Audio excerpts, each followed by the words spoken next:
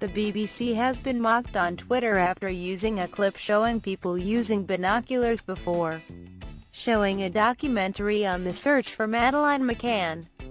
The 10-second snippet aired last night just before a special panorama examining the police investigation into the three-year-old's disappearance, exactly 10 years after she vanished.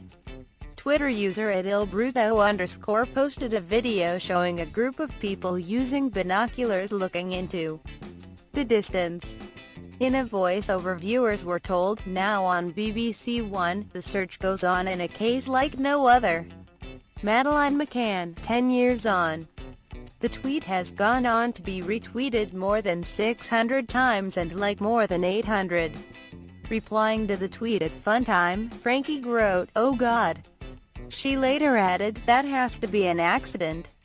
Twitter user at HarryReid1985 wrote, You almost have to admire the nerve and pure comedy sass necessary to do that.